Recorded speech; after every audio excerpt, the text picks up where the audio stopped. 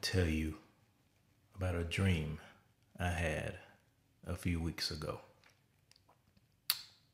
I typically don't remember a lot of the dreams that I've had in the past, but recently I've been remembering them very vividly.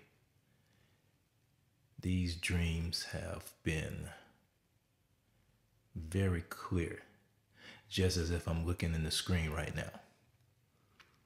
And usually they happen um, right before I either I'm about to wake up or right before, you know, it's time for me to get up, either or. Um, and when I say wake up, you know, you wake up in the middle of the night, handle your business, you know how that is. But let me tell you about this dream. And this dream is very critical, especially in the times that we're living in today. And we know that you can have dreams, they can have many different meanings. But the main thing is that when you are dreaming, that you ask the Lord to reveal what the dream means, whether it was from Him or it's not from Him. And usually, when a dream is from Him, or a message that he wants you to relay to his people or to the world is usually a dream that is for either restoration, edification, comfort, or rebuking. There's never a dream from God that will leave you fearful. If you have a dream and you wake up fearful from it, what some people call a nightmare, they did not originate from the Lord. So let's get into this dream. So in this dream, I was in a backyard, like a grassy area, like in Africa, like the like the the the plains of Africa, somewhere along those lines. And there was a broken tree in the middle of this area with pythons all on the tree.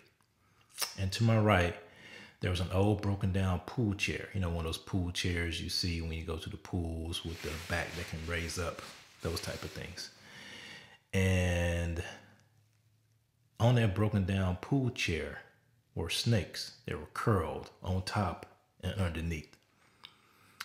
And then I saw a lamb in the mud, stuck in the mud, in front of that tree that I mentioned before that had the pythons all in it and around it and the sheep was attempting to cry, but I did not hear any noises. You know, sheep bray and makes noises, especially when they're in trouble or in distress. And the sheep was attempting to do that, but I did not hear anything. And as I looked, I saw this long black and cream python slither down the tree and approach the sheep. The sheep was not aware that the python was sneaking up behind it. And you know, pythons are very um, stealthily anyway. So typically, when they're about to strike, uh, you do not see them coming or hear them coming. The python grabbed the sheep by the tail and began to swallow. Now, keep in mind, whenever you see a python attack an animal or anything, it usually bites it and then it wraps itself around the animal or whatever to suffocate it. They're called constrictors. So naturally, they constrict their prey and then they engulf it. But this was different. This python snuck up behind the sheep and began to engulf it without even bothering to suffocate it. And I saw that slowly the sheep was being engulfed by the python. And as I looked, I distinctively, as clear as day, heard myself say, Look at that python about to swallow that sheep. He's trying to fight back, but there's nothing that he can do unless we intervene. Let me say that again. I heard myself say, as clear as day. Look at that python about to swallow that sheep. He's trying to fight back, but there's nothing he can do unless we intervene. And then I woke up.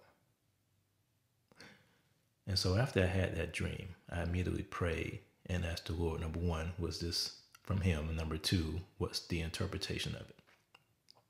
And so the Lord revealed to me that the sheep are his people, or the church. And they are stuck in deception. They are stuck in deception. And the snake is the world or the devil. It represents the world or the devil. And the world is swallowing the church whole unless we as believers, the remnant, intercede.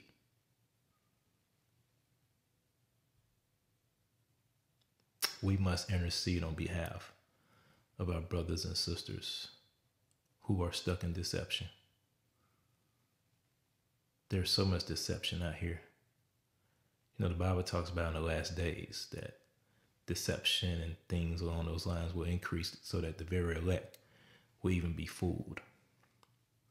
We have to try things by the Spirit. We can't run off with everything we hear. We have to be sensitive to the Spirit of God within us. And we have to have spiritual eyes nowadays. We cannot be deceived. We cannot be deceived. It is too dangerous, it is too deadly for us to be deceived.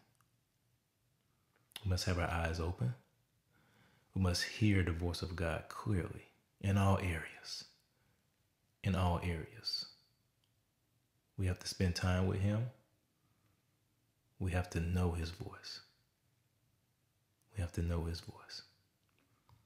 I advise you to avoid the mainstream media.